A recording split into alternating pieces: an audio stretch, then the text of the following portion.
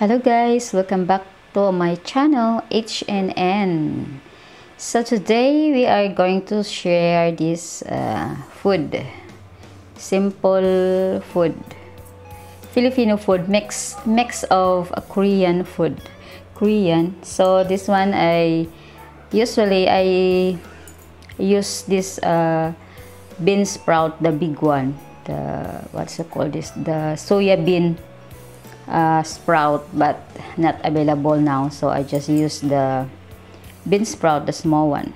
So you just uh, blanch this uh, sprout. And then you straight put on the ice cube or cold water to stop the cooking. And then see you can see the color of this uh, sprout is very like fresh still not overcooked. So when you blanch this in the hot water you straight put on the cold water too. And then you just put the spring onion and then uh, sesame oil and fresh garlic and little bit uh, lemon and fish sauce. Ayan. usually this menu is from Korean or you can eat this in Korean restaurant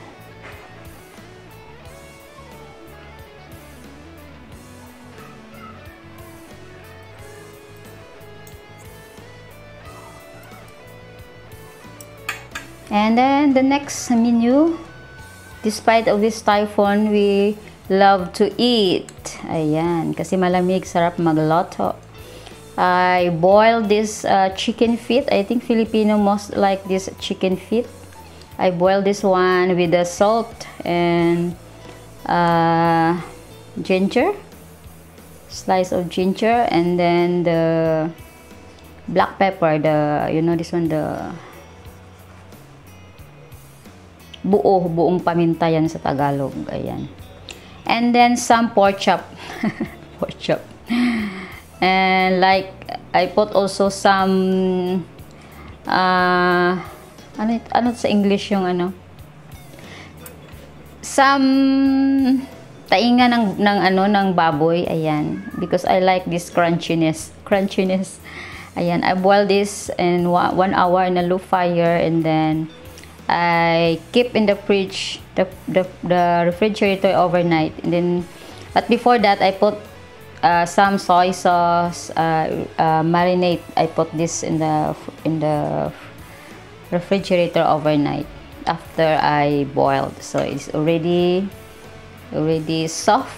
Yeah, before I put in the barbecue pan. Ayan. As you can see it's so yummy. And if you want to know how to do this I just put the the the ingredients uh, below. Yeah. So napagtripan lang namin magluto. Trip trip lang kami guys. Hindi naman talaga kami mahilig sa mga ganito yung yung uh, mga mantika talaga or mga meat ba? We usually eat more vegetables and fruits. But sometimes you miss you miss this or we miss this. So ayan. At sarap kumain dahil umuulan. Ayun. Mm, so yummy.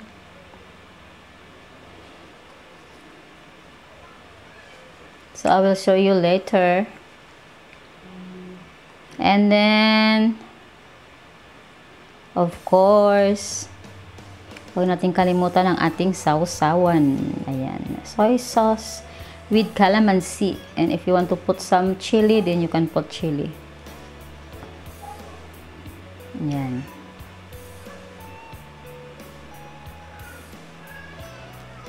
Ayan.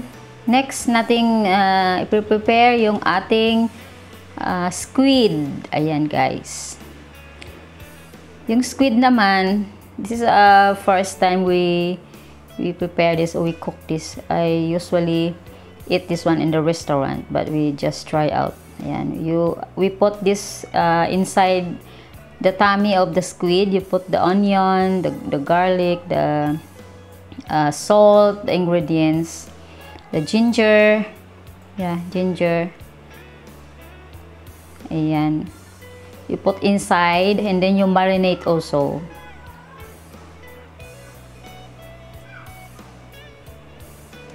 Yeah, so I changed this, that color. Funny color.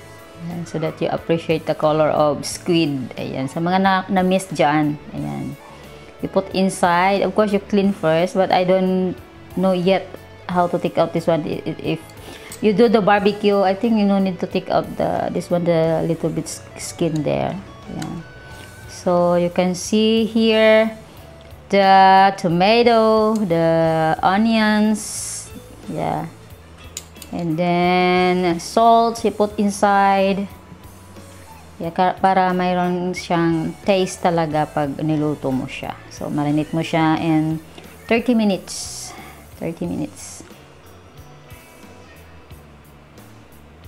Ayan. Kakatakam.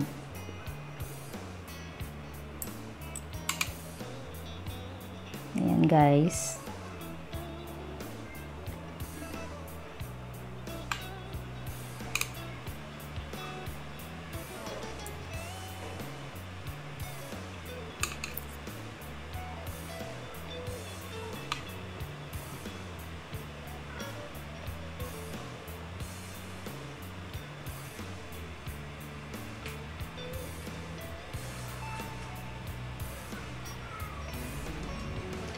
So, after you prepare this, of course, I will show you how to cook or how I grill. If, if you have a grill, maybe you can grill. Yeah, I just use this uh, uh, is this one? This pan Ayan. I just put some uh, what is called that? Butter. Yeah, butter.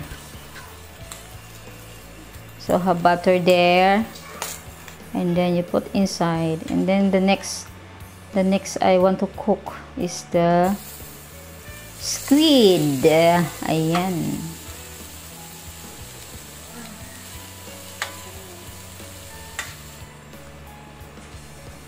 Ayan guys.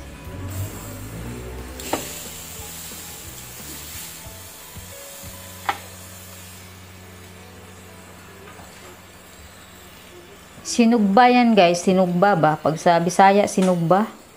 Ayan. Pwede sugbahon, sugbahon gid. Ayan.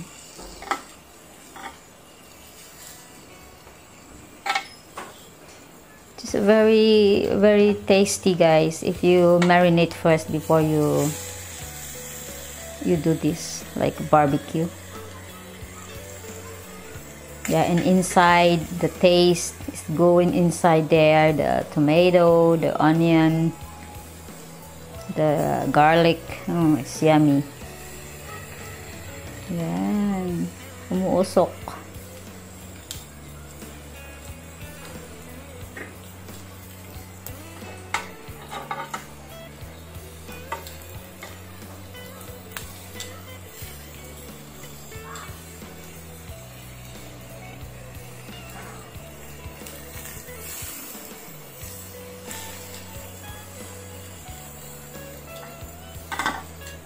Ayan. So, you just check from time to time if this already cooked the other side then you turn. So, make sure guys na luto kasi seafood kasi ito eh. So, mahirap na.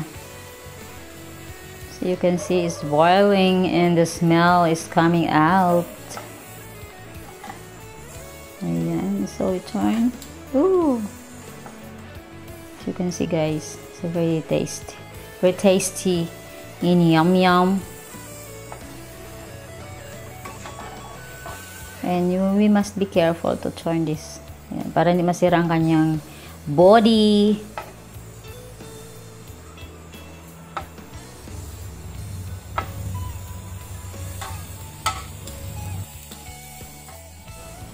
Ayan, so, nearly, nearly done. Na siya maluto. Ayan, guys. Pinaliktad na natin.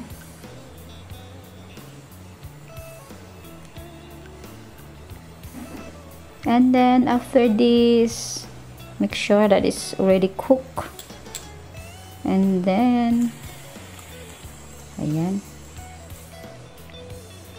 Ihiwain na natin siya guys. Slice natin siya. Ayan, see? Usok-usok. Mmm, yan. So, slice natin. So, we already done and we prepare our lunch. Let's eat. Ayan, ito na ang aming finished product. With sausawan. Ayan. So, hope you enjoy guys watching this food. And hopefully, you get hungry. So, thank you for watching this video. And please don't forget to subscribe and hit and like and comment. And hit the bell button para notify kayo sa mga susunod kong videos. Thank you so much and keep safe everyone.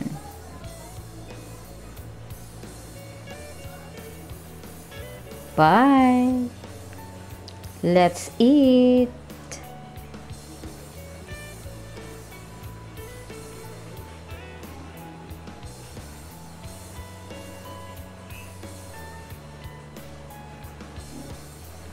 Kakagutom.